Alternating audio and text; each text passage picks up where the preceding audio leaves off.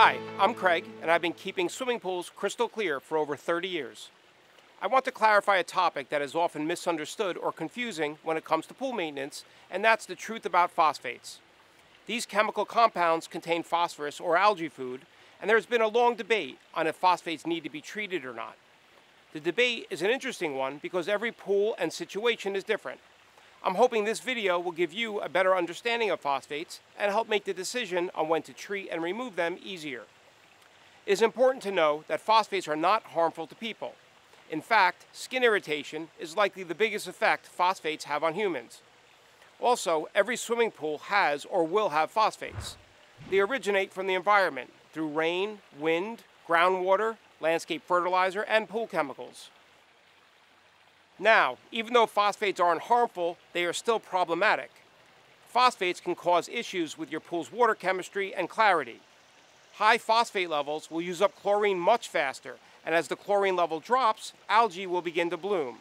This process can happen very quickly. In fact, it's possible that your pool can be crystal clear one day and green or covered in algae the next. So, what to do about phosphates? It's true that if you monitor your chlorine level a few times a week and add extra chlorine when needed, then phosphates do not need to be removed. And here lies the heart of the phosphate debate. To treat or not to treat the phosphates, but simply monitor and maintain a high free chlorine reading. We advise that if you are able to test and maintain a good free chlorine level of 3 to 5 parts per million, the pool is clear and algae free, and no one using your pool is experiencing any skin irritation, you do not need to treat and remove the phosphate from your pool.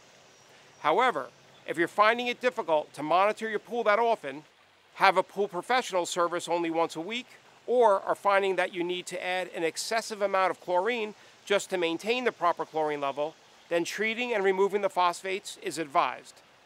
This is why every situation is different and varies from pool to pool. As a pool professional that maintains pools on a weekly basis, it's for these reasons that we often recommend phosphate treatment to our customers we know that the summer season is short in the Northeast, and if we encounter a pool with a high phosphate level, we often treat it rather than running the risk of a green pool by the next time we return the following week. So let's review.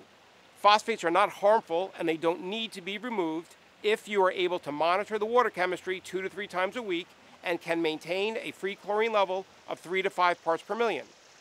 Phosphates should be treated and removed if your pool isn't maintaining a good free chlorine reading, if your pool isn't going to be tested and monitored throughout the week, or if you're someone who does not want to risk the pool turning green or not being swimmable.